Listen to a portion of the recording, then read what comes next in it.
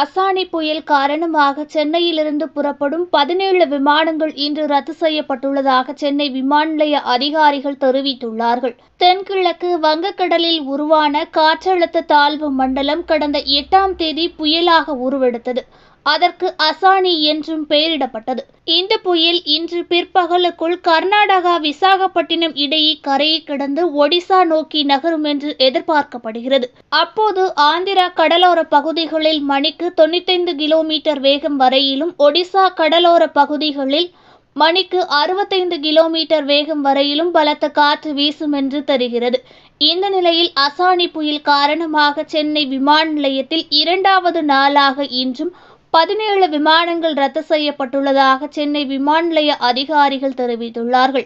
சென்னை விமான நிலையத்திலிருந்து விசாகப்பட்டினம் விஜயவாடா ஹைதராபாத் பெங்களூர் கொல்கத்தா ஜெய்ப்பூர் ராஜமுந்திரி உள்ளிட்ட இடங்களுக்கு இயக்கப்படும் பதினேழு விமானங்கள் ரத்து செய்யப்பட்டுள்ளது. மேலும் சென்னையிலிருந்து அந்தமான் புறப்படும் விமானங்கள் காலதாமதம் ஏற்பட்டதாக விமான நிலைய அதிகாரிகள் தெரிவித்துள்ளார்கள்.